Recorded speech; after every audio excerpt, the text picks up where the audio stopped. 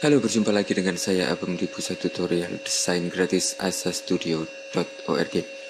Bagaimana kita bisa menggunakan beberapa komponen yang sudah ada di sini? Kita mempunyai form widget di paling atas.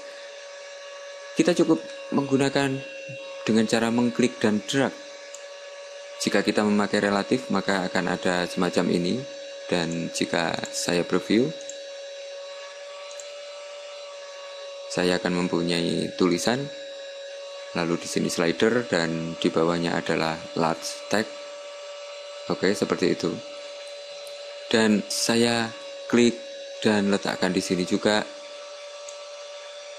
Maka jika saya preview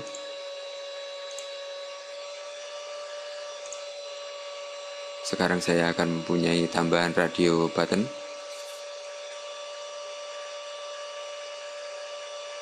Oke, seperti itu dan saya juga bisa menambahkan bintang mungkin. Seperti itu dan jika saya preview Android application dan saya akan memperoleh tampilan yang sama persis di project saya. Oke seperti itu. Saya bisa mengklik seperti ini dan saya bisa memilih. Lalu di sini saya bisa uh, untuk memberikan ke kanan dan ke kiri dan Anda cukup seperti itu dengan dengan menggunakan graphical layout. Oke, okay? Anda bisa memberikan teks, first name. Oke, okay, umpamanya saya hapus semua. Dan di sini saya menggunakan first name. Oke, okay, dan mungkin ABCD. Lalu address dan Anda bisa memberikan semacam ini. Oke, kita bisa mengaturnya di sini mungkin horizontal, di sini juga, di sini juga. Lalu saya bisa memberikan form widget dan di sini saya memberikan button. Oh, umpamanya seperti itu. Dan sekarang jika saya preview, kita lihat saya akan mempunyai tampilan seperti ini.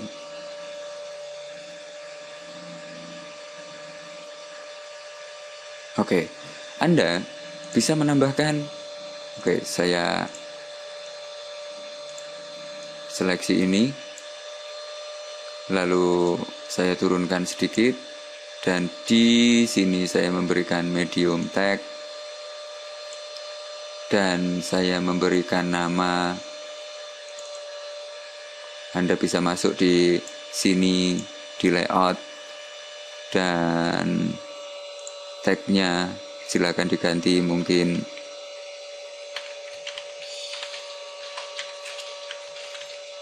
Oke kita bisa mengganti tagnya dengan ini. Mungkin saya tambahkan titik dua dan namanya di N saya memberikan huruf besar. Jika saya kembali ke graphical layout sekarang saya sudah mempunyai masukkan nama Oke, seperti itu. Dan saya bisa mengatur ulang.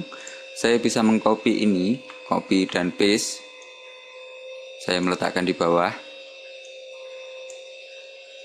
Oh.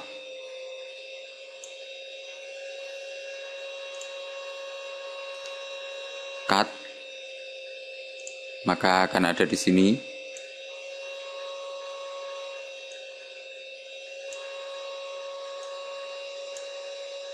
Oke, Anda bisa mengatur, mengatur seperti itu, mengatur seperti itu, lalu di paste di sini. Oke, dan di sini saya mengganti dengan mungkin di tagnya saya ganti dengan email mungkin. Lalu saya memberikan ini, lalu saya bisa menambahkan lagi tag baru dan di sini saya bisa menggunakan klik kanan lalu show in property. Maka saya akan mendapatkan semacam ini dan uh, tagnya saya ganti.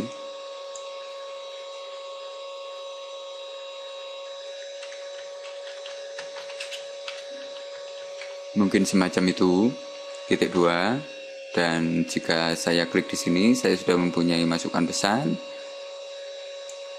Lalu beberapa input field semacam ini. Dan sekarang jika saya preview dengan Android simulator saya akan mendapatkan semacam ini.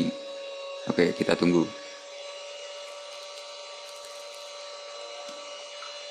Oke, dan di sini Anda bisa memberikan nama dengan mengetikkan di keyboard, lalu di sini ada nama mungkin di sini ada pesan Anda. Oke, dan di sini kita akan mempunyai button dan kita bisa mengklik button. Tapi tombol kita tidak akan bisa berfungsi karena memang tidak ada beberapa uh, perintah di di Java-nya.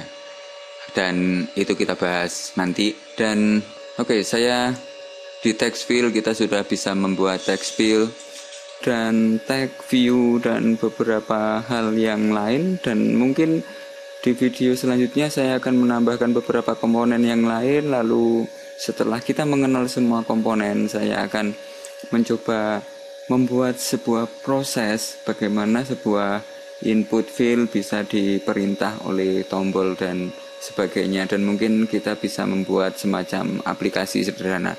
Oke, jika Anda menyukai tutorial yang sudah saya buat, pastikan subscribe di YouTube saya dan sampai jumpa di materi selanjutnya.